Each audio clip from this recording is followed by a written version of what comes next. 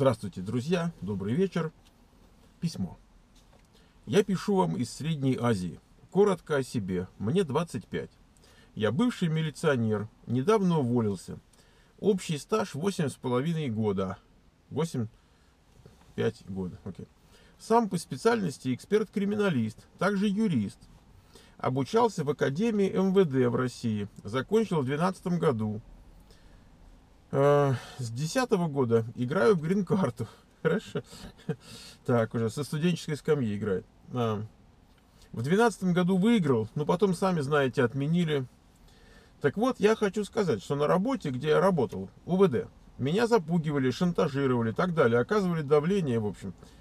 А, и я уволился после этого, еще не женат. Как вы думаете, могу ли я получить турвизу или гостевую? Это одно и то же. Поехать в США и сразу подать на политическое убежище. Мне сказали, что шансы у меня очень хорошие. А, работал честно, леваки не делал. А зарплата была 250-300 долларов где-то. Естественно, денег у меня нет, но я найду любым законным способом. А еще я всегда думал, что выбрал не ту профессию, а направление у меня по специальности узкое. Э, эксперт-криминалист. Жалею, что потратил 8,5 лет на обучение и на работу. Мне бы хотелось обучиться на тестера, так как я отлично лажу с компьютером. Жаль, не учился на программиста, но мне всего лишь 25, и у меня все еще впереди, и я не хочу тратить свое время на бессмысленное существование. Посоветуйте, пожалуйста, как поступить чего начать? Значит, вопрос у нас, как поступить, с чего начать? Ну, давайте поболтаем.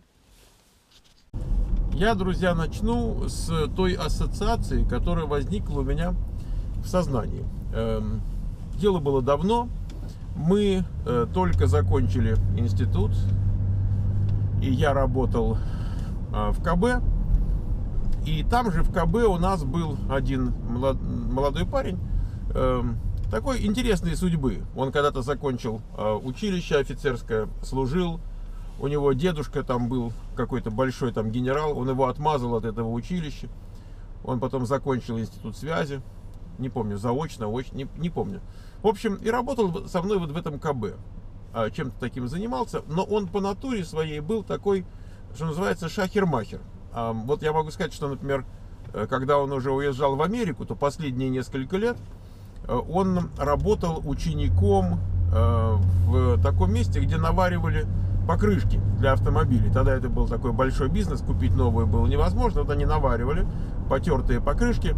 Э, да, учеником можно было быть, я не помню, там 3 месяца, 5 месяцев, ну несколько месяцев.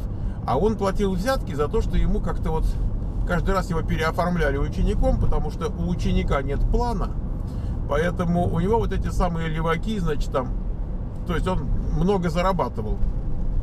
Да. И как вот он потом объяснял, они там такие безобразия творили, что он вовремя ушел, потому что остальных посадили. Ну, в общем, вот он такого примерно склада был молодой человек. Ну вот, э, военный, как бы, да, так, в принципе, такой боевой, боевой человек.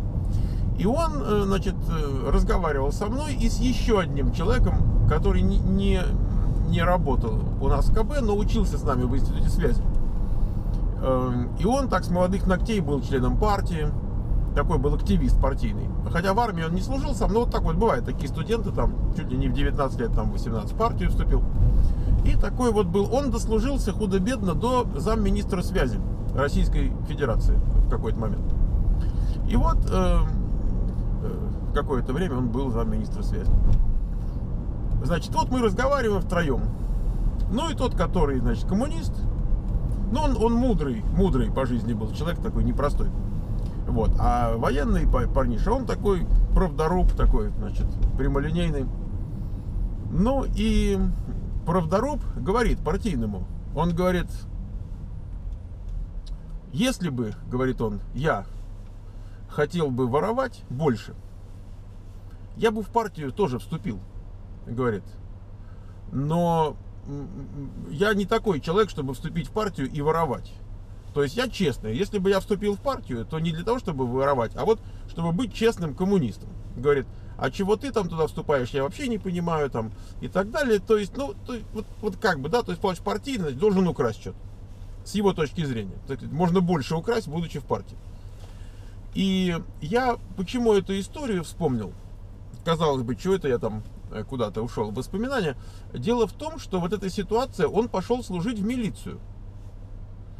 И образование получал, там все дела. И я, честно говоря, я не, у меня не укладывается в голове, как же он вот, э, будучи столько лет в системе, столько лет в системе, не понимал совершенно систему. Он не понимал, что нельзя по-честному. Если ты будешь по-честному, ты не сможешь собирать э, взятки, ты не сможешь их передавать вверх по инстанции. Ты не, ну, ну, то есть это просто ты, ты не просто не участвуешь в системе, а ты открыто ей противостоишь, потому что другой человек на твоей же должности. Он что-то наверх отдает, а ты нет. Вот он леваки не делал там что-то. А чего ты тогда? Ну, ну, то есть, я с одной стороны понимаю, что люди бывают разные, обстоятельства бывают разные, и все бывает разное, ну так вот как бы в целом, как вектор такой, да, как направление. Э, иногда придет какой-нибудь ангел ко мне в девичьем образе, вот, и делаешь там ей резюме или там за жизнь беседуешь. Ну, чисто Дева Мария, понимаете, вот такая пресвятая, пречистая.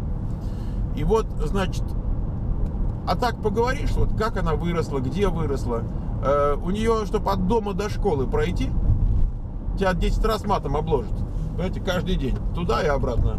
И вот, и тем не менее, вот в этом вот во всем вырастают вот эти вот самые Девы Марии, понимаете, которые не вырастают там, где абсолютно стерильное какое-то вот там э, производство. Нет, нет, вот, вот на всем на этом вырастает чудо такое, понимаете. Поэтому, как честный такой, принципиальный, там, мент там и так далее, Значит, э, конечно, бывает, я, и я не спорю, но, э, знаете, еще один случай я вспомнил, когда начал э, про ментов, значит, я в Киеве, когда был, пару, там, три года назад, ровно три года назад мы со Светланой были в Киеве, и там с одним разговаривали с дяденькой, который раньше в органах служил, внутренних дел. И я говорю, как там сейчас обстановка-то, вот, как там, ну, менты, как бы, он говорит, сейчас, говорит, ментов почти не осталось, одни мусора, сказал он. Вот, понимаете, как интересно. Так вот, э, что я хочу сказать. Значит, он хотел быть ментом, а, а, а от него требовали, чтобы он был мусором. Ну, хорошо, ну проехали. В конце концов, э, время прошло, чего-то такое, может быть, он в каких-то идеалах был. Да понятно, молодой парень, что-то он себе думал, там даже, я не знаю. Ну, неважно неважно, уже ладно, уже повзрослел, прошел. А, видите, у него бзик на законности. Он говорит, я любыми законными способами заработаю себе там на отъезд. Понимаете, он, не, говорит заработать, он говорит законными способами. Для него это важно. У него вот эта вот парадигма по-честному. То есть он такой совершенно американский такой человек. Все хочет делать по-честному. В таком месте, где по-честному ничего сделать нельзя. Понимаете, вот это дилемма такая. Значит, эм, безусловно, у него есть какой-то кейс.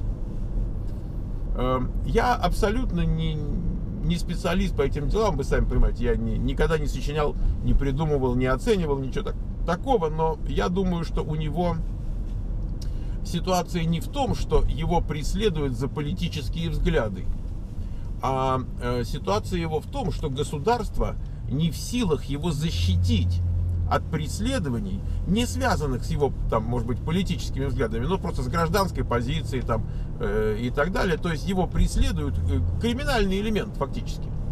А он вот, значит, пытается найти защиту у системы, а система его не защищает. Вот я думаю, что он где-то вот в этом, в этом поле.